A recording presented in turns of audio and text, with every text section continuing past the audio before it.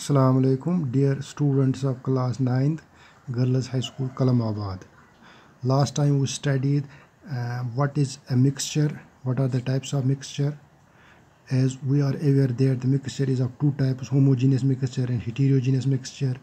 Now today let us learn how we can separate the different components of a mixture. As we know that a mixture may consists of two components or more than two components.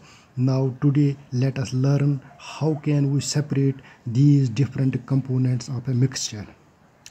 As we know that a mixture may be between mixture may be of two solids a mixture may be of two liquids a mixture may be of a solid or a liquid.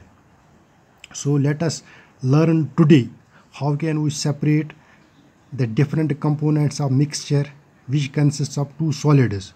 Means a solid solid mixture. How can we separate these two uh, components or more than two components by one of the method that is called as suitable solvent method?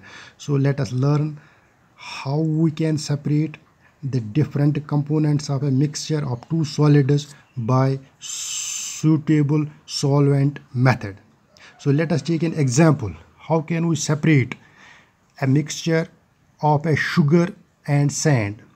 If we have a mixture of a sugar and sand, as we know that sugar is a solid, sand is a solid. If we have a mixture of sugar